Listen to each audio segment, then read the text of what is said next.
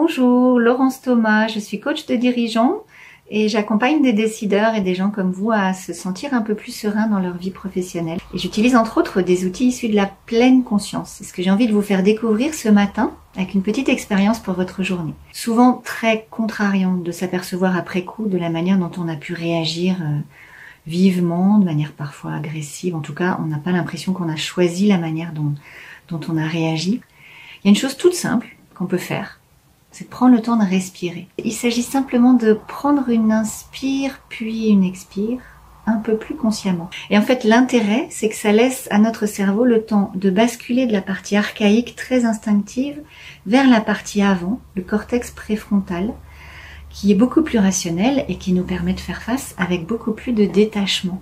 Et on parle de répondre à la situation plutôt que d'y réagir répondre à la situation. Ça veut dire que j'ai choisi pour moi l'option qui me semble la plus satisfaisante. Et en général, elle est aussi satisfaisante pour l'autre, ce qui est plutôt une bonne chose.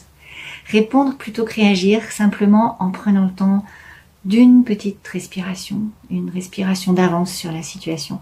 C'est ce que je vous propose d'expérimenter aujourd'hui lorsque ça va se présenter, parce qu'à coup sûr ça va se présenter, ça fait juste partie de la vie.